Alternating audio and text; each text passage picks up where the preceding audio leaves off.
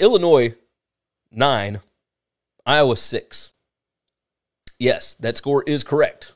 And yes, it was as mind blowing as you could imagine. I want you to look at the final play of the game here on the stat sheet. That right there. If you're looking on here, it says uh, shotgun, Petras, Spencer, pass complete, short left to Laporta, Sam for four yards, lost to the Iowa 16, lateral for five yard gain to the Iowa 24, fumbled at the Iowa 24, recovered by Iowa, uh, Reagan Nikio at the Iowa 18, lateral to Petras, Spencer for two, blah, blah, blah, blah, blah, blah, blah. It just goes on and on because they were trying to lateral this thing. They tried to win the game at the end on, you know, one of the crazy whatever plays. Oh, man. Uh, looking at this, Illinois one yardage, 316 to 222. They won yards per play, 4.2 to 3.4. They won rushing, 200 to 52. Iowa gave up 200 rushing yards in this game. Uh, they won drive points, 3 to nothing. Um, they won, uh, Iowa won turnovers, 3 to 1. Of course they did. They missed a 45 yard field goal, so that was the end of it. Um, and Jeff Fogle said basically a college version of Colts Broncos debacle from Thursday night.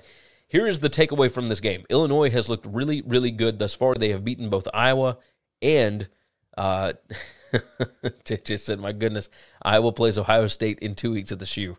Uh, how bad is that score going to be? Not as bad as you would think because Iowa's defense is still absolutely fantastic. This is still a really, really good defense. So do not count them out of that game.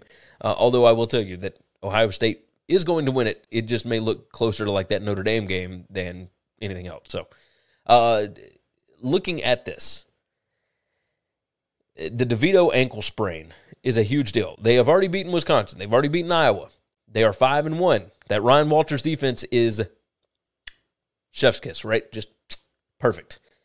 But how much more can they possibly lean on that defense? Uh, you're going to have to ride with Artur Sit, uh, Sitkowski going forward. Tommy DeVito, high ankle sprain. Who knows how long he's going to be out?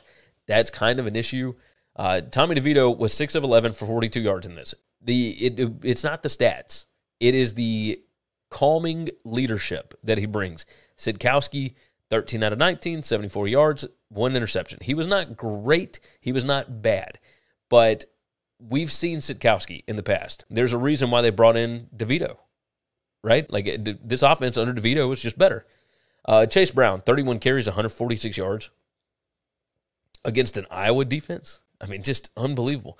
Uh, 82 Atlantic said, "Is Bret Bielema the Big Twelve, or excuse me, the Big Ten Coach of the Year?" Uh, we still got a long ways to go. At this point in the season, absolutely, absolutely, he is the Big Twelve, or I keep saying it, Big Ten Coach of the Year right now because nobody expected this out of Illinois. Like they are awesome currently. But man, we still got a lot of season to go. A lot of season to go. Um, yeah, Chase Brown is an absolute stud. Absolute stud. They have got to find a way to get Isaiah Williams the ball more because he is explosive in that wide receiver room. Uh, he only had three for negative seven uh, on the day. Uh, you you got to find a way to get him the ball. Like Chase Brown is your stud. He's your workhorse, but Isaiah Williams is good too. So you got to find ways to get that that receiver room a little bit more involved. And I don't know that you can do it with Sitkowski. I mean, we'll see. We will see.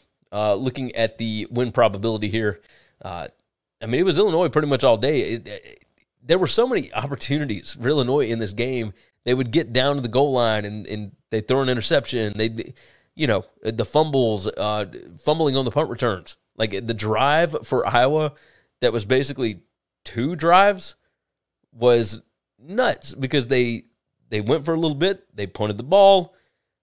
Uh, Illinois fumbles the ball and gives it back to them. Iowa goes back 15 yards after they get the fumble, and then they punt it back again, and then they settle for a field goal after. I mean, it, it's like the perfect Kirk Ferentz situation. It's just mind blowing to me uh, how this happens, how it works. Uh, I mean, cheers to Illinois, five and one. This five and one, regardless. Uh, and we're hoping that Tommy DeVito comes back strong. But man, that defense under Ryan Walters is something serious. You got Walters and you got Chase Brown. You got a pretty good football team. Those lines of scrimmage are serious. Absolutely serious. Thanks for listening to Winning Cures Everything. Make sure and subscribe on YouTube or your favorite podcast app. And make sure to leave a nice five star review. You can follow Gary on Twitter at GaryWCE, and the show is at Winning Cures. Be sure to check out the merch in our web store and share the show.